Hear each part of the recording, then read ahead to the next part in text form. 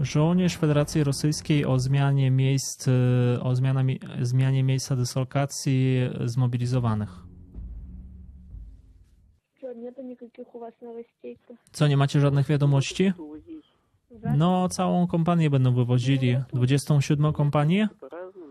Nie no, tam jakoś różnie. Wydaje mi się, że wywożą teraz, co oddajemy amunicję, wszystkie te karabiny, przynajmniej gdyby do domu was zabrali, nic nie mówią, dlatego że sprzęt e, zawieźli, bardzo dużo sprzętu wojskowego. Ale co do was? Nie, niedaleko tam obok wioski, nie wiem, nikt nic nie wie, wszyscy czekamy. No ale was e, nie zabierają tam wszystkich, tam ktoś zostaje? Dzisiaj wszystkich zabiorą, e, tylko wywozić będą po kolei. Najpierw jednych, później innych. I nie mówią gdzie? Nie, nikt nie powie. I nawet y, nie wiesz y, mniej więcej gdzie?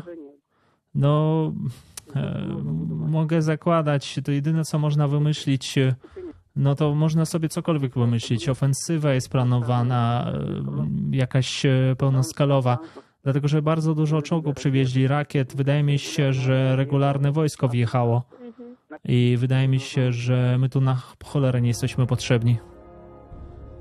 Ofensywa.